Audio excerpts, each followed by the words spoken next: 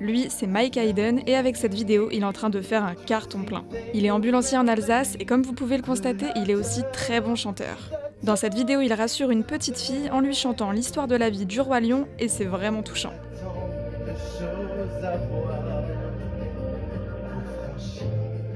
Sous sa vidéo, il a expliqué son geste.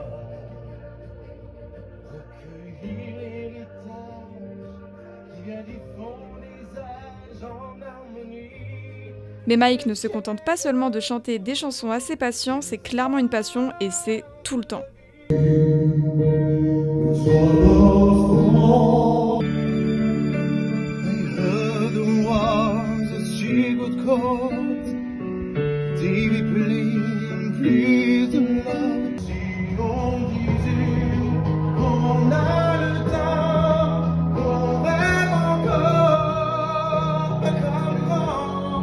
L'ambulancier se lance également dans une carrière d'artiste avec son nouveau single Dinero.